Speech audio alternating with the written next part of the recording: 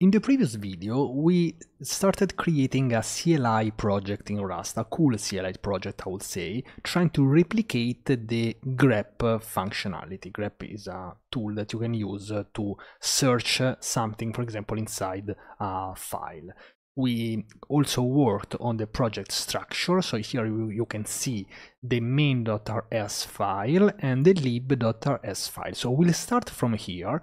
All the code will also be available on GitHub.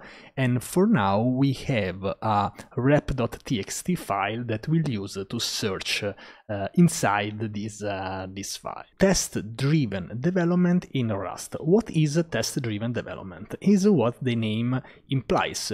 We, we let our code to be created by tests. We made different lessons about tests in Rust, so I'll be quick here and I will not reintroduce how you can test your code in Rust, but I will use the tests here in this uh, current project. I will start in this lib.rs file and let's say that we want to use a test-driven development to implement this search functionality. Let's write one test.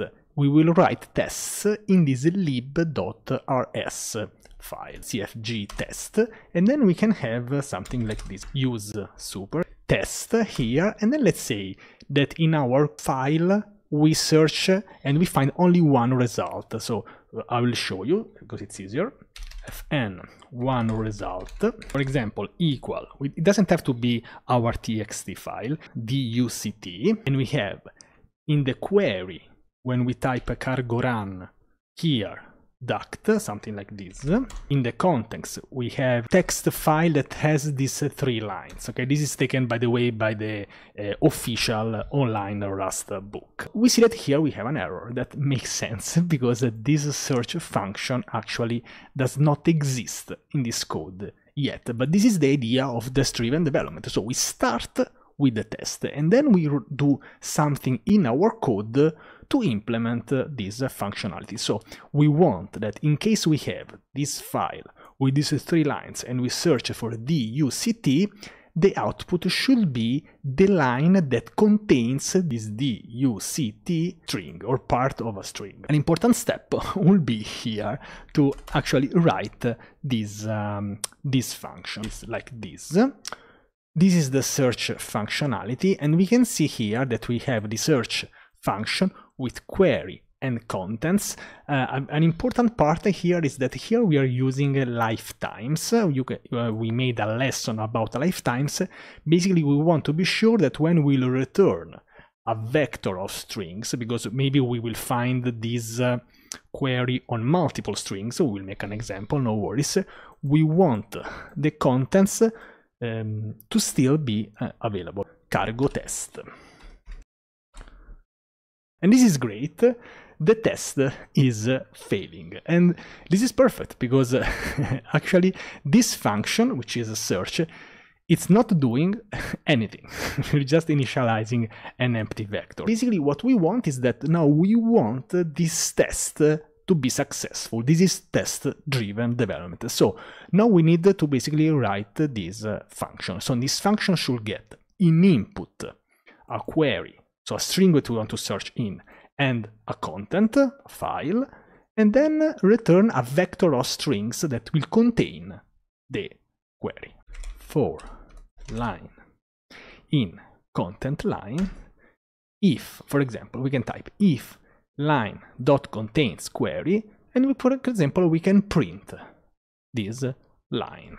Okay, here the compiler is getting angry because we need, you see, you need to return a vector. We are not returning a vector here. So, for example, we can define a new vector here, let mutable results, and we can return these results, cargo test.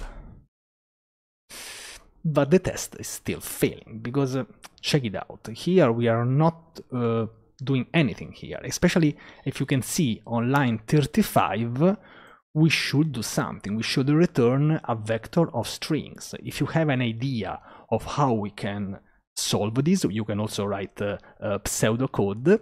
You can just uh, write this in the comment. Results dot push we push this line in this new vector and then we return this vector that might contain different lines. For each line, it has been pushed. Okay? What is query? This is a nice uh, question. A query is something that we are searching inside these uh, content, contents. Okay, so for example, let's let's read the test here. Query can be DUCT, and we have this text with three lines, Rust, safe, fast, productive, and pick 3. In this case, we want to return a vector that has all that has just one line, safe, fast, and productive. If we had another duct here, like ductive, I don't know, something, it will return two lines. Let's try cargo test here. And indeed now the test is passing. The process here is this. We wrote this test. Then we had errors, great. We implemented this search functionality. Now the test is happy because in case we will use this search functionality with this text of three lines, we are expected to return just one line. Here in the run function, I want to also return this uh, uh, in the terminal. Okay, so for example here, for each line that it's returned in this search at config query at contents, we can return this, we can print all the lines. This is just for us, for users, because we want to actually read the output of this um, uh, functionality. Okay, um, we are done. And now we can try to use the grep functionality on this text. Of course, we can use this with any text you want. Cargo, run, space, dash, dash. Let's try, for example, to search for JS, the string JS, in the file rep.txt. And here you can see we have this single line. You are the past JS, I'm the new king crowned. It's the last last sentence.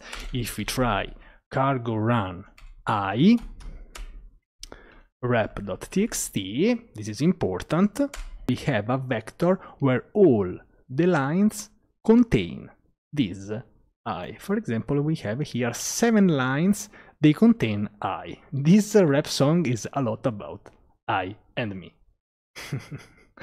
I will push this code on GitHub. Feel free to play around with it, also with different files or different texts.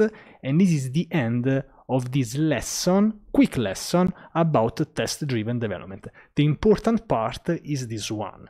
Test-driven development, we start writing tests in this uh, lib.rs file, and then we make the test successful by writing functions and make the functions do whatever the test is already telling us that is uh, correct.